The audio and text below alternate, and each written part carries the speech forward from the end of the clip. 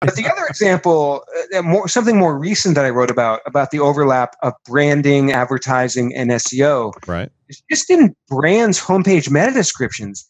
If you go to Google and you type Macy's right now, you're going to see one of the most hideously written. I don't even know if it's written or, or like if it's just pulling the text from the page, but like Macy's, for example, has not done a good job of crafting a great meta description that mm-hmm. literally millions of people a month are seeing when they go to Google and they type Macy's or any, you know, it's probably like 10 million people are seeing this meta description. Wow. You yeah. factor in all the ways that homepage is showing up in the search results. Yet, Macy's or these big brands will spend millions of dollars in the name of branding and advertising and messaging to try to get us to think or feel a certain way about their company if they're not going to take the extra half an hour or hour to like actually write 156 characters that speak to us in a way that resonates in the same way they're trying to do with advertising or branding or messaging. And i was inspired by, by this uh, idea. I was listening to a podcast called building your brand story with donald miller. Yeah yeah absolutely.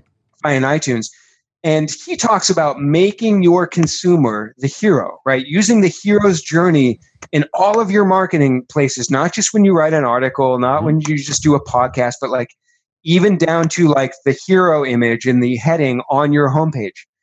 And when I heard this, I said, why can't we apply this to meta description, right? So the post I wrote, I went and I found 15 brand, I think it was 15, 15 brands like I think some of them were like maybe Uber, like all the common ones that are actually using a great meta description that make their customer the hero, right? They use they speak to the customer in the second person. They use words like your mm-hmm. and like they speak to your emotions. So they basically like when I analyzed this, they all broke it down into the three things that Donald Miller talked about on his podcast. When you're trying to make your customer the hero, you show them the problem, Mm-hmm. You show empathy. You show them that you understand their problem they're going through. Absolutely. You highlight the solution, that the solution is on that URL that you want them to click. And then you show them what the outcome is going to be of that solution. So yep. you can actually do that in 156 characters, like I showed in my post. Is that really SEO? I don't know. I mean, it's not, it's in the meta description, but it's not impacting your rankings. Right. But it's something that an SEO would be, would care about but it's also something that I would think as a brand you would care about as well because millions of people potentially are seeing this messaging in the search results. Absolutely. And I think you're you're striking a chord into something that we would hope that SEOs um, respect and uh, aspire to achieve. They are marketers. They're not just tacticians and technicians. They are marketers and they hold a particular role inside of convincing and converting. Or we'll give a shout out to our Jay Baer fans, right? To be able to give them, give the consumers a roadmap of what value you're going to find at that website. They SEOs have to uh, don the hat of uh, persuasion marketing. Um, I mean, this is the buyer's journey, the Maslow's hierarchy of needs, and and everything's around this. Understanding, uh, empathizing with with with the the user's plight, right, and then getting into a solution, offering up a solution into that decision. I mean, there's three stages, there's five stages, seven stages, whatever they break it down to, but it's exactly that. It's it's connecting emotionally with a consumer, and you can have dry websites that can be incredibly large websites, but they're not connecting with their customers uh, at the point of you know the contextual knowledge of the SERP. So, I mean, it's yeah. a very important role that the SEOs still have in this space because they're the, t- the technical purveyors of this marketing message, right?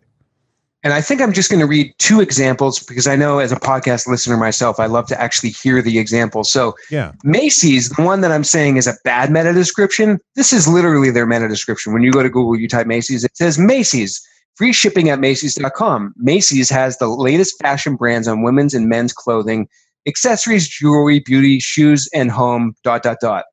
It's terrible. Like it's boring like it doesn't tell me anything like about how i should feel or like why i should care about macy's as a company. Right. Which is pretty accurate with macy's. Yeah so yeah. Some of these are just the problem with the brand right? over there but um, one example i love is modcloth for example. So i didn't even know what modcloth was until i went to semrush i put Anthropologie in there to look for other companies that might be doing cool things. Right. And i found modcloth and it actually, I'm going to read their title and description. So their title is ModCloth Women's Vintage Style Fashion, Clothing, and Decor. Great. Got my keywords. I know exactly what they sell. Sure. The meta description starts with feel confident, look stunning, and be the best you. Nice. That is awesome, right? I It's want to be the best I'm- me I can. I'm That's going to right. go buy a dress from ModCloth. Yeah, if I was a, if I was in the market for a dress, it would tell me how I would feel watching that, right? But then it continues. Shop ModCloth for fashionable vintage style must-haves, including clothing, swimwear, decor, shoes, and more. So great. There's my products, my keywords. But it begins with that feel confident, look stunning, and be the Yeah. best you. Now, I have a sense as a user, like how I might feel potentially, or you know what I aspire to Yep. if I were to shop there. So I think that's one of many of the 15 examples I have in my post there.